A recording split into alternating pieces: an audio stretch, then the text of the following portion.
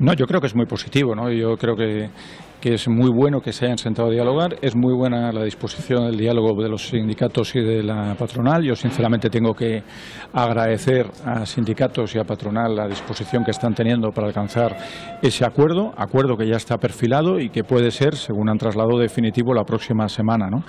Eh, se nos ha solicitado al Gobierno que intentemos tramitar por la vía de urgencia el Real Decreto y vamos a hacerlo. Es decir, eh, vamos a intentar atender esa, esa petición y yo creo que estamos ante el fin de una situación de un sector productivo que era la última de las situaciones de esas características en nuestro país, eh, por lo tanto la reforma hay que darle el valor que tiene eh, y también yo creo que el inicio de un acuerdo que dé estabilidad y garantía a los trabajadores. El mantenimiento del empleo era un asunto esencial para nosotros y desde luego yo creo que todo apunta a que se va a garantizar en apenas, pues insisto, días desde la aprobación del Real Decreto Ley.